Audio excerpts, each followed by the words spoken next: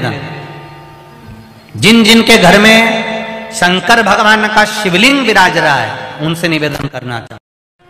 इतना सा हो, बड़ा सा हो, छोटा सा हो, कंकर मात्र का हो, इतना छोटा सा भी हो तो भगवान को निलाने के लिए जब बैठो, स्नान कराने के लिए बैठो, तब एक निवेदन ज़रूर है कि शिव जी का जो जल, आप शंकर जी को स्नान कराओ तो एक अलग थोड़ा सा पात्र कर लो, एक छोटी सी प्लेट अलग कर लो, उसमें निला लो। निलाकर थोड़ा सा भी भाग अगर शंकर जी का हमको मिल रहा है, घर पर ही उसका जल अगर हमने छीट लिया है थोड़ा सा आचमन कर लिया है, बच्चे जिद्दी हैं तो उनको भी अगर दे दिया है, या हमने तुलसी जी को छोड़कर दूसरे वृक्ष में भी डाल दिया है हमारी वीडियो पसंद आए तो चैनल को सब्सक्राइब और बेल आइकन दबाना ना भूलें। कोई तुमसे पूछे कि पितर और देव पितर में अंतर क्या है? पितर और देव पितर में अंतर क्या आता है? देव पितर का कार्य क्या है?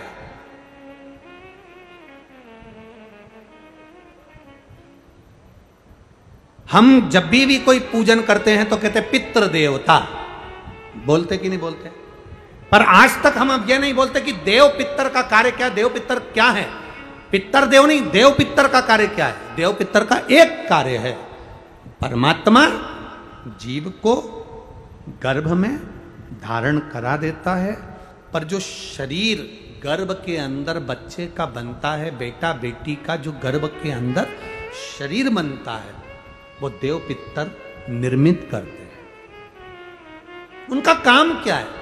देव पितर का सबसे बड़ा कार्य है कि गर्भ में जो बच्चा है, उस गर्भित बच्चे को शरीर कैसा देना?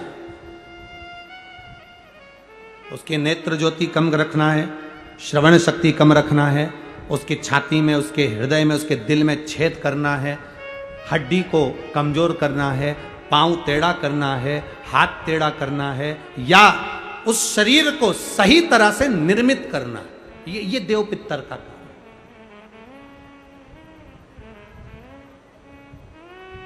ये देव पितर का काम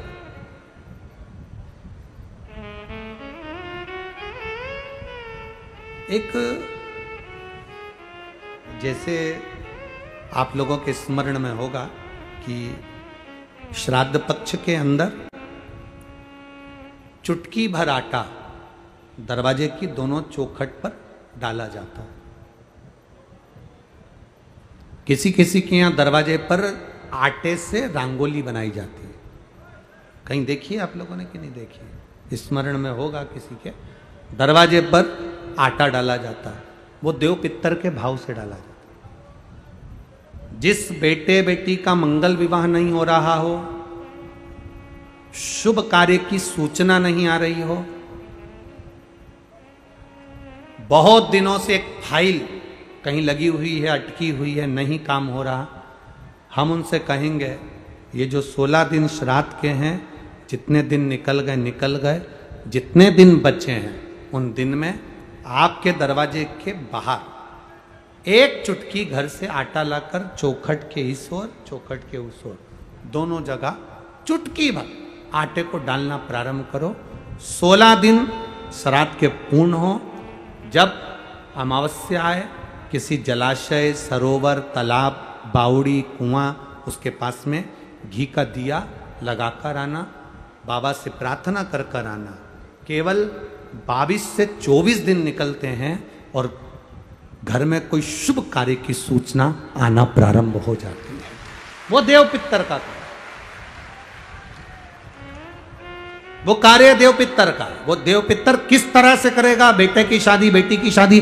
हम कहें, किसी के बयालीस साल भी अगर उम्र हो गई है, चालीस साल, बयालीस साल, पैंतीस साल, अड़तीस साल, शादी नहीं हो रही तो कर कर देखना। एक बार बाबा से प्रार्थना कर कर देखना। देव पित्तर का कार्य क्या है? घर में शुभ कार्य को करवाना, घर में अच्छी चीज़ें लाना, गर्भ में जो बच्चा है, उस बच्चे को शरीर पूरा देना। ये देव पित्तर का कार्य है। पितृदेव और देव पितर में बहुत अंतर है माना बहुत अंतर। एक चुटकी आटा।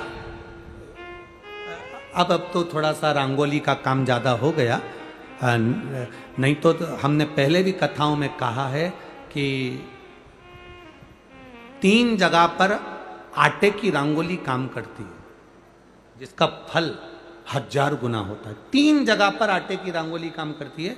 हमने पहले भी कहा, पहला, पितरों की पूजन हो रही हो, पितरों का पाटा भरा रहा हो, पितरों के लिए जोत लग रही हो, पितरों के लिए या अन्य स्थान पर कहीं पूजन हो तो वहाँ पर आटे की रंगोली काम आती है। वहाँ पर रंग बिरंगी या पत्थर की रंगोली नहीं, मिट्टी की रंगोली नहीं, आटे की रंगोली काम आती दूसरे नंबर पर,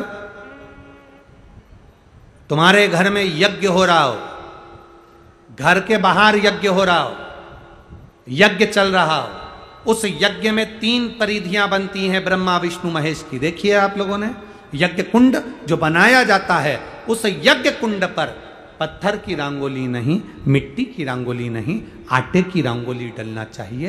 ये पहले डलती थी, अब लोगों ने फ़ैशन में दूसरी डालना प्रारंभ कर दी। आटे की रंगोली डली होती है, जब हम साकल्य छोड़ते हैं, अग्नि को जब हम साकल्य देते हैं तो जिस आटे की रंगोली उस पर बनी होती है तो हमारी जो सांकल्य छोड़ी जाती है, उसमें से एक अंश भाग हमारे पितरों के खाते में चला जाता है, जिससे पितरों की मुक्ति प्राप्त हो जाती है। तीसरा, आटे की रंगोली तीसरी, घर में शादी हो रही हो, मंडप बंधा हो, उस मंडप के नीचे जब पूजन हो रही हो उस समय पर पत्थर की या मिट्टी की रंगोली नहीं। अगर पंडित पूजन करा रहे हैं या मंडप की पूजन हो रही है, जिसके नीचे लड़का लड़की की भावर होगी, दूल्हा बैठेगा, दुल्हन बैठेगी, वहाँ मिट्टी की रंगोली या पत्थर की रंगोली नहीं। उस जगह पर आटे की, हल्दी की रंगोली डाली जाती अब आपके यहाँ डालते कि नहीं डालते, पता नहीं, पर हमारे यहाँ शास्त्र रीति कहती है, ये तीन जगह की जो रंगोलियाँ हैं, ये हमको आटे की रंगोली डलने से क्यों? शादी के मंडप में पत्थर की रंगोली या मिट्टी की रंगोली क्यों नहीं डाली जाती? शादी के मंडप में यहाँ दूल्हा दुल्हन की शादी होती है वहाँ पंडित जी भी आटे की रंगोली डाल देते हैं, घर की बहन बेटियाँ आटे की रंगोली डाल देती है। उसका कारण क्या होता है? जिसकी शादी में मंडप के नीचे आटे की रंगोली डलती है, वहाँ पितरों को निमंत्रण नहीं देने की ज़रूरत पड़ती। वहाँ पित्र उस वर कन्या को आशीर्वाद देते हैं जिससे उनका वंश बढ़ता है वंश रुकता नहीं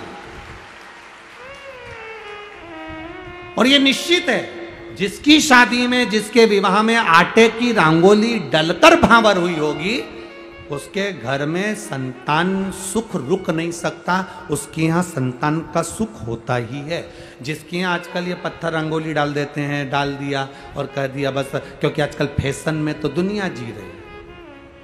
तो आटे की रंगोली कौन डाले? तो वो फ़ैशन में चल गया। तो संतान की प्राप्ति में भी थोड़ा सा अब तुम देखो पहले का समय, आज का समय कितना अंतर है हमारा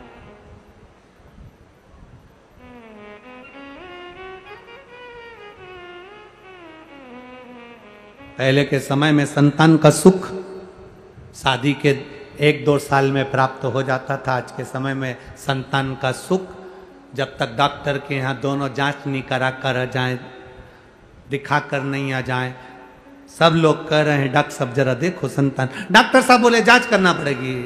बहू की भी जाँच हुई, बेटे की भी जाँच हुई, सब अच्छा है। उसके बाद भी संतान का सुख नहीं। उसके बाद भी संतान की प्राप्ति शिव तत्व को जानिए। शिव महापुराण की कथा कहती है, तीन जगह आटे की रंगोली की मूलता है। बोलेंगे आप लोग, पहला स्थान दरवाजे की चौखट। दूसरा स्थान, बोलते जाओ जल्दी, यज्ञ कुंड। तीसरा स्थान, शादी का मंडप, जहाँ पर भले चुटकी भराटे की रंगोली बने, पर वो ज़रूरी है। तीन स्थान आटे की रंगोली के मूल